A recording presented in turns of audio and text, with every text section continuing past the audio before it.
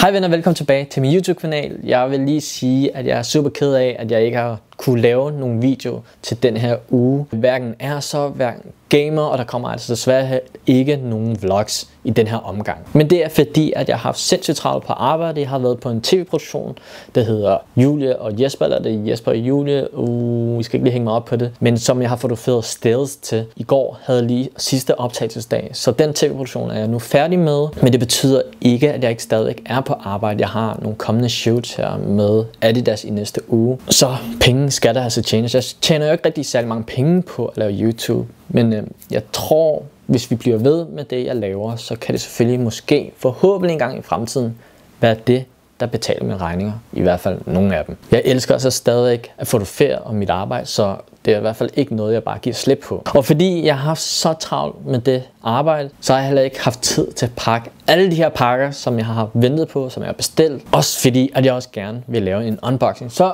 nu har jeg tid så derfor synes jeg, at vi skal lave en unboxing video. Det er også længe siden, jeg har lavet sådan en video. Men jeg tænker, at vi sådan starter lidt randomly, og så alligevel ikke så random. Fordi jeg har en lille overraskelse til jer til en giveaway, så bliv hængende. Men jeg tænker, at vi starter sådan lidt. Det er altid lidt sjovt at pakke gaver op. Det er ligesom, ligesom, ligesom juleaften og sådan, uh, det er gaver, men uh, det er gaver, jeg selv betalt for. Sådan er det at være voksen. Øh, hvor er min unboxing kniv? Jeg skal ikke lige, hvor jeg er, så vi bruger bare lige en almindelig hobbykniv. Lad os lige prøve at starte med den her. Det er en pakke fra Nike.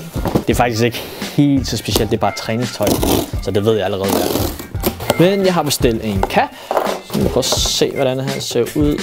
Altså, sådan her. Men jeg har bare brug for en meget simpel cap. Sådan her. Den er sgu meget fin. Den kan jeg godt bruge. Nogle nye træningsshorts.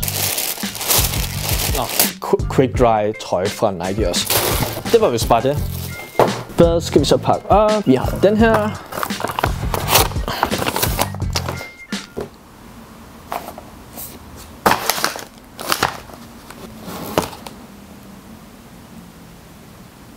Det var faktisk ikke det, jeg skulle have. Øh, jeg skulle have haft en mikrofon, men de har altså sendt mig... okay, det var weird. Men de har sendt mig nogle, øh, nogle, nogle in-ears øh, høretelefoner i stedet for. Jeg skulle lave en test på en mikrofon til kamera og smartphones. Det kommer jeg så ikke til at lave den her weekend. Det var meningen, at jeg skulle lave det den her weekend, men det kommer jeg så ikke til af god grund. Så lidt spændt på, om jeg skal sende dem her tilbage, eller om jeg får lov til at beholde dem. Who knows. Den her kasse, som I nok kan se, der står Tipman på, og til de jer, der ved, hvad Tipman er, har det måske muligvis noget at gøre med Airsoft. Jeg har en ny grip. Den skal jeg altså bruge til noget andet, som jeg også skal pakke op. Som jeg rigtig glæder mig til at pakke op og bare vente på et par dage for at skulle lave den her, fordi jeg ikke kunne pakke den op, før jeg kunne filme. Det bliver rigtig sjovt at vende tilbage til. Og her har vi så noget Red Gas, Nimrod, også til Airsoft, og mund ikke det har noget at gøre med den anden pakke, jeg også skal pakke op. Og nye ammunition kugler til, når jeg skal ud og spille Airsoft. Jeg spiller med Airsoft Surgeon Cooler 030. Det er det, jeg synes fungerer bedst, især til de rifler, jeg har. Øh, så skal vi hen til en anden kasse, som... Altså, okay, jeg har glædet mig til at pakke alle de her kasser ud. Så den er her. Op. Den er næsten gået op. Hvor er den her mund fra? Ups. Uh, okay, det er det, jeg fik med. Så Supreme! Jeg har fået sådan nogle fløjtshandsker her fra Supreme. Ikke noget, jeg har bestilt. Jeg tror, jeg har været sådan noget, en lille fanny pack fra Supreme. Ser sådan her ud. Ikke som noget specielt over det. Og nogle stickers. Sådan er det. Kan I se det nu? Flere klistermærker til min samling. Og en flexible bottle fra Supreme. Lavet samarbejde med Hydropack. Vi skal drikke masser af vand. Så den kommer også i brug, når jeg skal ud og træne. Wow, shit. Hvad er det her? No! Jeg har helt glemt, at jeg har bestilt de her Supreme stickers, my name is, hello my name is. De ser altså sådan her ud. De er også ret sjove at have. Der har jo været 100 i bokser. box. Og en pandelampe skulle jeg også bruge, så hvorfor ikke bare købe en Supreme, når de lige laver en. Og en t-shirt, der står Stay Positive. Så har vi en Supreme underbukser. Jeg havde brug for nye underbukser. Og en tote bag. En Supreme tote bag, som jeg har bestilt til Alona. Og ser således ud. Men uh, Stay Positive, Supreme in Spirit. Åh, oh, min næse. Sådan. Okay, okay. Så skal vi pakke den her pakke op, som jeg har glædet mig allermest til. Som I nok kan gætte på formen, så er det altså en ny rifle. Oh yes, baby! Oh. Et nyt hop-up gummi. Ah, jeg har glædet mig som et lille barn til det her.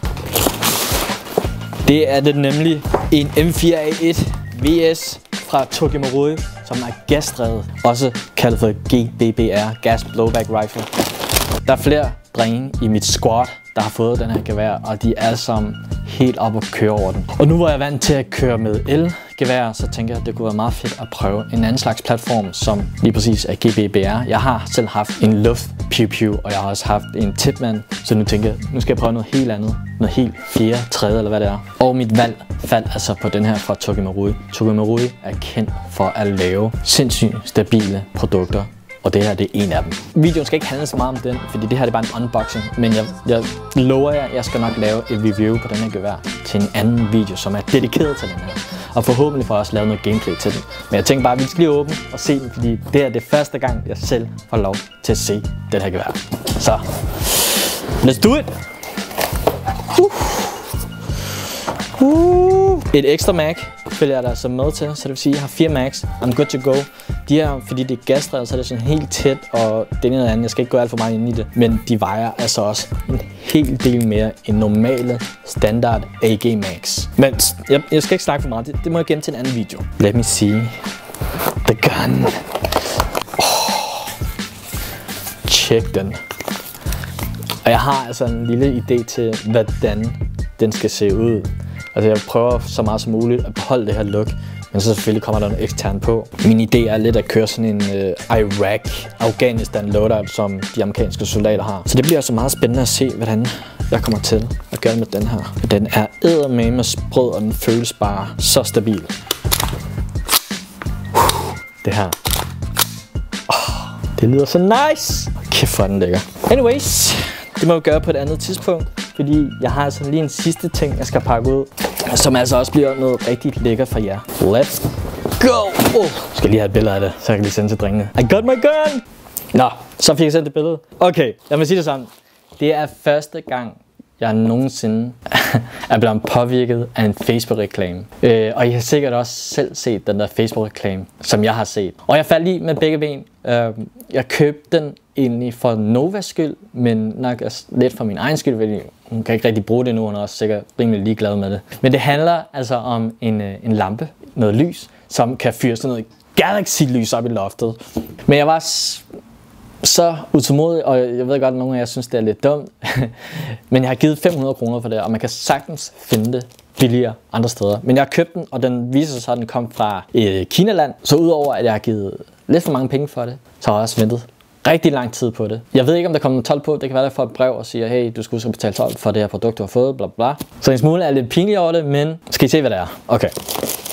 Det er en Galaxy-lys, en projektor, der fyrer sådan et galakse op ud over det hele. Og jeg har leget lidt med den, og den er altså virkelig sjov. Om den er 500 kroner værd? Mm, nok ikke helt så meget. Men når man lige åbner kassen, så følger der altså en fjernbetjening med til stramt stik til, og så følger der selvfølgelig den device, som det hele handler om. Som sagt, jeg har testet, og jeg synes, den var enormt sjov. Og det fede ved det er, at der også er en Bluetooth indbygget højtaler i, så i forhold til børn og så videre, så kan du altså sætte noget lyd, altså du kan sætte sådan vindlyd, regnlyd, så de nemmere har ved at falde i søvn, når der er en lille smule lyd i baggrunden. Men det giver altså også dem noget, de kan kigge på og stille roligt falde i søvn til. Og den har altså flere funktioner. Jeg kan ikke huske, hvor mange forskellige farver den kan smide op, men det er både stjernehimmel, nordlys, galaxy-lys, og så desuden er der også sådan en timer på, så du kan sætte den til at slukke af sig selv efter en time eller to. Men anyways, jeg fik testet den, og både Alona og jeg synes faktisk var rimelig griner. Og vi delte, jeg delte en story på min Instagram, og det viste sig altså, at der var kæmpe, kæmpe interesse for at få den her.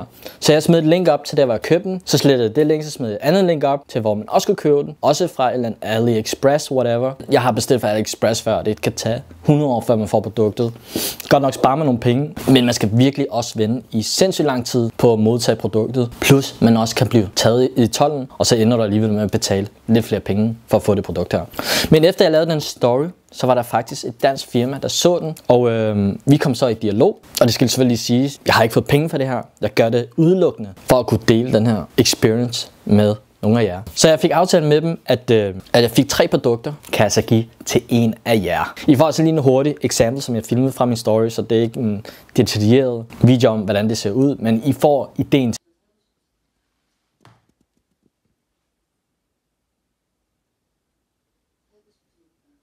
og det hele kan styres på det her, og I kan styre, der er lyd, så I kan styre fra telefonen af. Det er super simpelt. Udover at de så sælger produkt billigt, jeg tror det er 349 eller sådan noget. Jeg gav 500 plus lidt ekstra for forsendelse og sådan noget pis der. Så koster deres 349, det er præcis den samme. Men de har altså lager i Danmark, så det tager altså kun et par dage, fra at du bestiller produktet, til du får det. Så hvis du er en mindre utålmodig som mig, og gerne vil betale lidt ekstra for at få det hurtigere, så besøg det her link her, som jeg smider foran, som hedder dreamroom.dk. De har også en Instagram, der kan også godt se lidt mere detaljer i, hvordan det ser ud, når man har tændt for lampen. Men de vil gerne, som sagt, sammen med mig, lave en lille giveaway på tre styk, og jeg skal sige igen, gentage, det er ikke en reklame. Jeg har fået det giftet for udelukkende at give det til jer. Og måden I deltager på er selvfølgelig, I bare skriver ind i kommentar, I gerne vil deltage i giveawayen. I behøver ikke skrive noget vildt, bare skrive, jeg vil gerne deltage i giveawayen. Og der er altså tre stykker, jeg kan give væk. Men selvfølgelig også husk at like videoen og subscribe til kanalen, så bliver jeg sindssygt glad. Så det var altså lige en surprise giveaway, der lige kom her med i unboxing videoen. Jeg håber, I også synes og får lige så god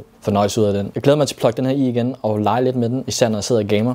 Det bliver ekstra vildt på stream. Yes, endnu en gang. Vi skal lige det, jeg laver. Skriv en kommentar i en kommentarfelt. Giv mig en thumbs up. Slå på den klokke der, så jeg aldrig misser en video. Og så ses vi i den næste. Never be never, never, never be never be